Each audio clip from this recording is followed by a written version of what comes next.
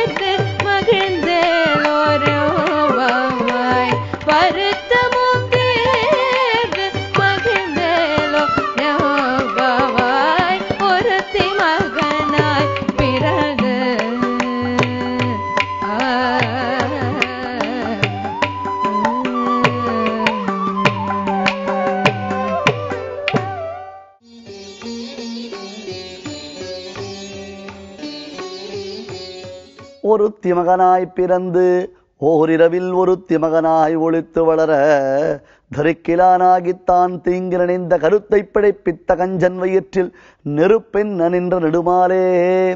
இந்த பாசுரத்தில் பெருமானுடைய அவதார ரகசியம் சொல்லப்படுகிறது.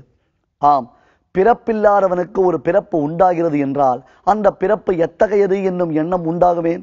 என்னப்பனே சர்வேஸ்வரா நாங்கள் நாங்கள் செய்திருக்கக்கூடிய புண்ணியம் பாபம் என்னும் கர்ம வினைகளினாலே பிறக்கின்றோம். புனரப்பி ஜனனம் புனரப்பி மரணம் என்பதாக மீண்டும் பிறக்கிறோம் மீண்டும் இறக்கிறோம் மீண்டும் பிறக்கிறோம் மீண்டும் இறக்கிறோம். இது ஒரு சக்கரத்தை போன்று சுற்றி கொண்டே வருகிறோம். ஆனால் நீ எதற்காக பிறக்கிறாய்? அதுவும் பார்த்தாயா? இரண்டு அப்பா இரண்டு அம்மா இரண்டு குலங்கள்.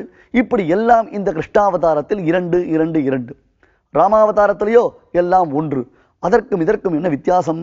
என்றால் இங்கே கோரத்தாழ்வான் அருளி செய்வார் வேறு ஒன்றுமில்லை. இரண்டு பெண்களை மனம் புரிவதற்காகத்தான் கண்ணன் இரண்டு குலத்தில் தான் பிறந்தானாம். ஒன்று க்ஷத்திரிய குலத்தில் சம்பந்தம் உடையதான தன்னுடைய பிறப்பினாலே ருக்மிணி பிராட்டியை கைப்பிடித்தான். மற்றொன்று இந்த ஆய்குலத்தில் சம்பந்தத்தை தான் அடைந்ததுடைய நோக்கம் என்ன என்றால் நப்பிண்டை பிராட்டியை மனம் புரிந்து கொள்வதற்காக. ஒருத்தி உலகம் அனைத்தையும் தன் வயிற்றில் கொண்ட ஒருவனை தன் வயிற்றில் கொண்ட ஒருத்தி. தேவகி மற்றொருத்தி உலக அனைத்தையும் தன் வயிற்றில் கொண்ட ஒருவன் வயிற்றில் தன்னையும் கண்ட மற்றொருத்தி. யார்? யசோதை பிராட்டி. ஒருத்தி ஈன்றெடுத்தாள் ஒருத்தி வளர்த்தெடுத்தாள். ஈன்றவளுக்கு கண்ணனுடைய பால லீலைகள் இல்லை. வளர்த்தவளுக்கு கண்ணனை சுமக்கும் பாக்கியம் இல்லை. இப்படித்தான் பரமாத்மா இவர்கள் கேட்ட வரத்தின்படியாக அவர்களுக்கு ஒரு அனுகிரகத்தை செய்திருக்கிறான்.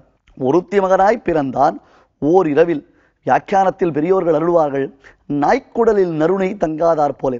நல்ல சுத்தமான பசுனை நாம் இட்டோமேனால் நாய்க்கு அது செரிமானமாகாது.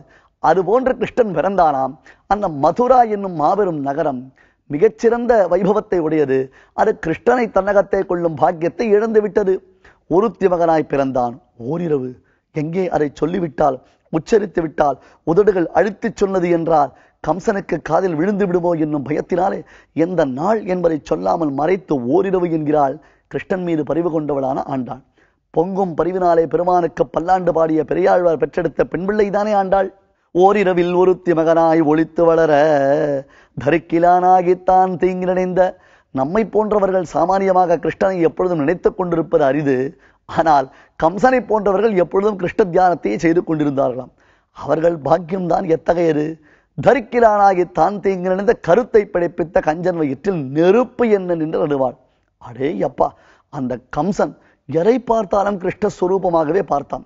பார்ப்பறையெல்லாம் கிருஷ்ணனாக நினைத்து அவன் உருண்டு மிரண்டு பயந்து நடுங்கிறதை பார்க்கும் பொழுது பக்தர்களுக்கெல்லாம் சிரிப்பாகத்தான் வந்தது நெருப்பு அவன் வயிற்றில் எரியக்கூடிய நெருப்பை போன்ற கிருஷ்ணன் கொதித்தானாம். கருத்தை பிழைப்பித்த கஞ்சன் வயிற்றில் நெருப்பென்ன நின்ற நெடுமாறே. கிருஷ்ணா ஓங்கி உலகளந்த உத்தமன் அன்றி உலக வளர்ந்தாய் அடி போற்றி அம்பரம் ஊடு அறுத்து ஓங்கி உலகளந்தாய் இப்பொழுது நெடுமாலாக திகழ்கிறாய். ஆம். கீதோபதேசம் முதலான காலங்களில் உன்னுடைய விஸ்வரூபத்தை சேவித்து வியந்து போற்றினவர்கள் எத்தனை மகான்கள் உண்டல்லவா? உன்னை அறுத்தித்து வந்தோம். உன்னை பிரார்த்திப்போம். அர்த்திப்பது என்றால் என்ன பொருள்? யாச்சிப்பது வேண்டுவது. எதை வேண்டுகிறோம்? உன்னிடத்தில் பொருளை வேண்டுகிறோமா? பொன்னை வேண்டுகிறோமா? வீடு வாகனத்தை வேண்டுகிறோமா? நின்னையே தான் வேண்டி நீல் செல்வம் வேண்டாதான். எம்பெருமானிடத்தில் எதை கேட்க வேண்டும் என்றால் அவனை கேட்க வேண்டும். அவனை கேட்பதினால் என்ன பிரயோஜனம்? அட முட்டாள் ஜனங்களே அவனை நாம் கேட்டு அவன் நம்மிடத்தில் வந்து விட்டானேனால் அவன் இருக்கும் இடத்தில் எல்லாமே வந்து சேரப்போகிறது. அது ஏன் உங்களுக்கு புரியவில்லை? எறையறையோ அவனிடத்தில் கேட்டு நாம் நம்முடைய காலத்தை கழித்துக் கொண்டிருக்கிறோம். அவனை தவிர்த்து மற்றவர்கள் மற்றவைகளை கேட்கிறோம். கிடைத்து விடுகிறது. ஆனால் அவன் கிடைப்பது இல்லை. அவன் கிடைக்கிறான் என்றால் ஏனைய அனைத்தும் நமக்கு தானாக வந்து சேரப்போகிறது. இப்படி உன்னை அறுத்தித்து வந்தோம். உன்னையே அறுத்தித்து வந்தோம். பறை தருதியாகில் பறை என்றால் மோட்சம் அந்த மோட்சத்தை கொடுக்க வேண்டும். திருத்தக்க செல்வமும் சேவகமும் யாம் பாடி. திருவாகிய பிராட்டிக்கு தக்க செல்வம் திருவே நமக்கு தக்க செல்வம். அவள்தான் உயர்ந்த செல்வம். திருத்தக்க செல்வமும் சேவகமும் யாம் பாடி. வருத்தமும் தேர்ந்து மகிழ்ந்தேலோரும் பாவாய். வருத்தமும் தீர வேண்டும். மகிழ்ச்சியும் உண்டாக வேண்டும்.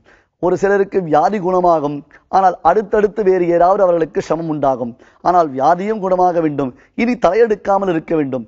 இந்த சம்சாரம் என்னும் வியாதிக்கு மருத்துவனாய் நிற்கும் மாமணிவண்ணனான கண்ணனை நீ வந்துவிட்டால் அனைத்தும் செதித்து விடும் என்கிறார்கள். இப்படி வருத்தமும் தீர்ந்து மகிழ்ந்தேலோரும் பாவாய் என்று பெருமானின் அவதார ரகசியத்தை போற்றுகிறாள் ஆண்டாள். நாம் பிறக்காமல் இருக்க தான் பிறக்கும் எம்பெருமானை போற்றி வணங்கி நாம் பூமாலையும் பாமாலையும் சூடி சூட்டி அவனிடத்தில் பக்தியும் பிரபத்தியும் செய்யலாம்.